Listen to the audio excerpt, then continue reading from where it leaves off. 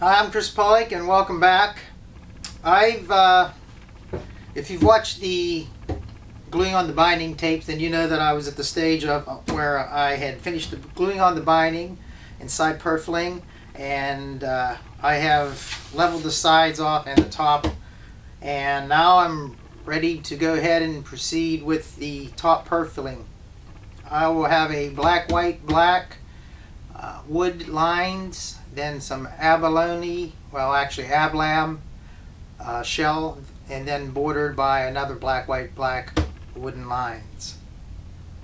Uh, I will be also gluing in with CA, and as I forgot to mention on the last tape, whenever you're working with CA, be sure to have eye protection on, especially if you're distributing it from a syringe or a pipelet, because sometimes the tips will get clogged up and if and the syringe sometimes may stick and if you try to force it it might just spray out and hit you in the eye.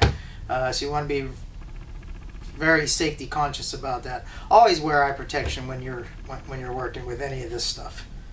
Um, okay so let's uh, get on with it. I'm ready to start on my top purfling. I'm going to uh, first start off by cutting my veneer strips for my lines. I'll, I'll be having a black, white, black, then the shell, then a black, white, black. Uh, my method for cutting the purfling lines consists of uh, I have a drafting table and I have a parallel slide on it and I use it for cutting the strips. I pretty much just take the veneer strip and tape it down so it doesn't move then slide the parallel strip to the width that I want and then I just cut it with a uh, sharp razor knife.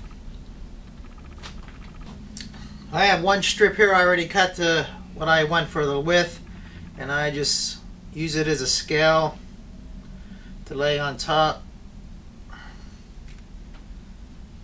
And then I adjust my slide.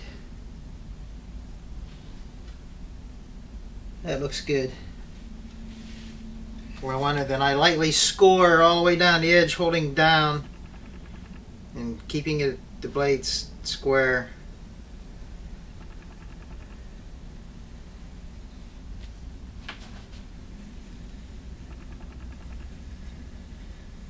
You want a sharp blade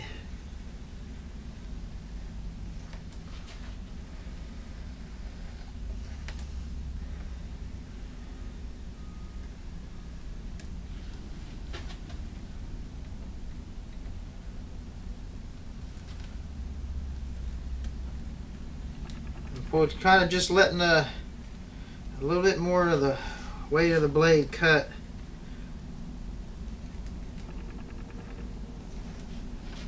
I need to come up with a better way of doing this, but this works for now.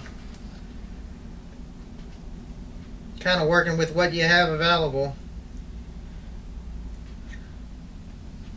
Alright, I think that's about it.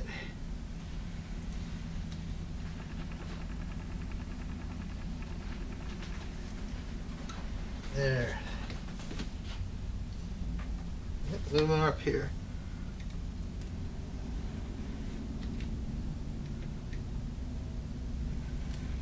There we go.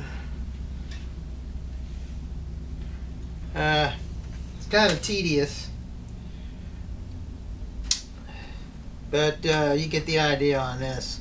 I'm trying to come up with a way that uh, making a tool that Eugene Clark uses for making his Spanish rosettes and stripping out his uh, veneer.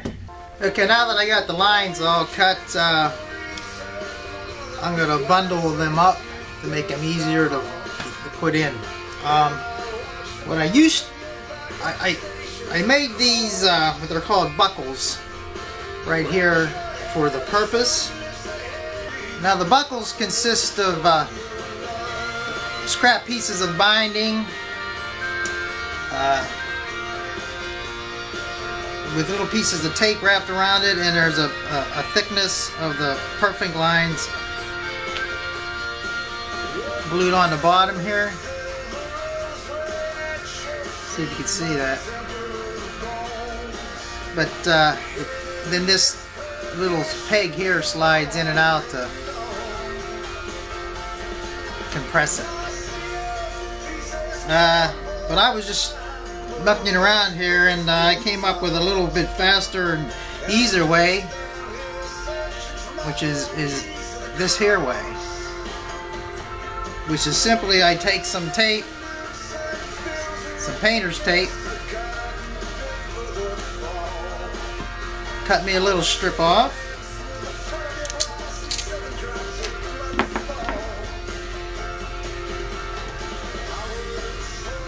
bundle my lines up like they'll be installed with the black, white, black.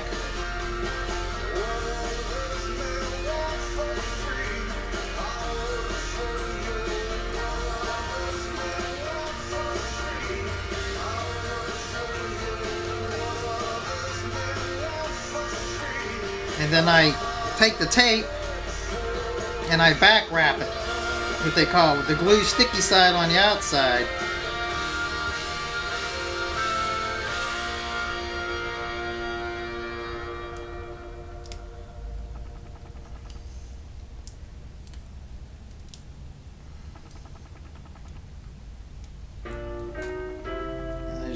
Stick it around, uh, roll it around, tight. Well, not real tight.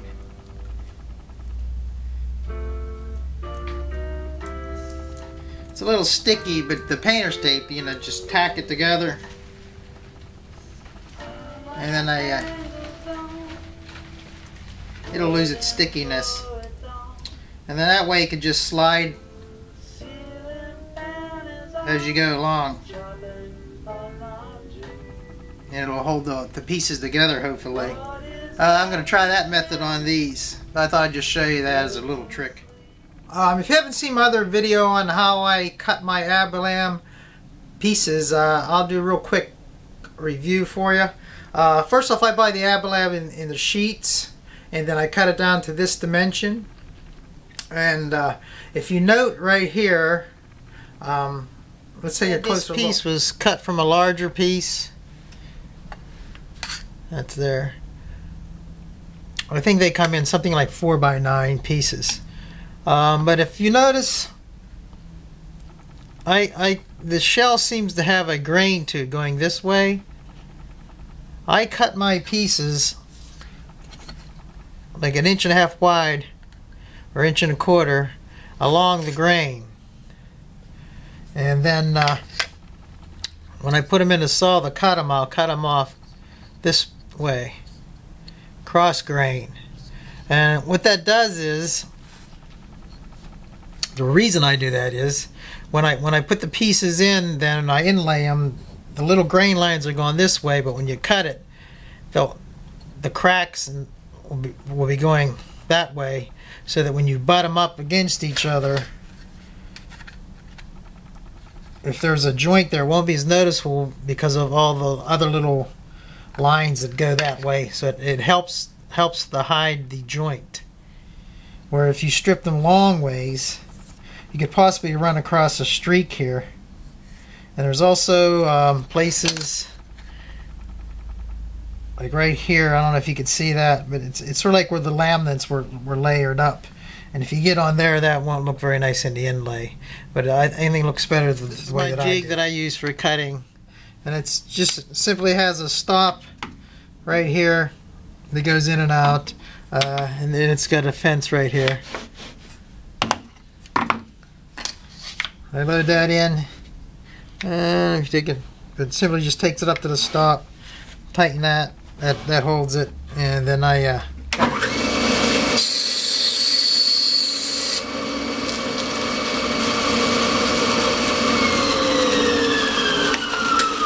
and that's my piece. That's how I make them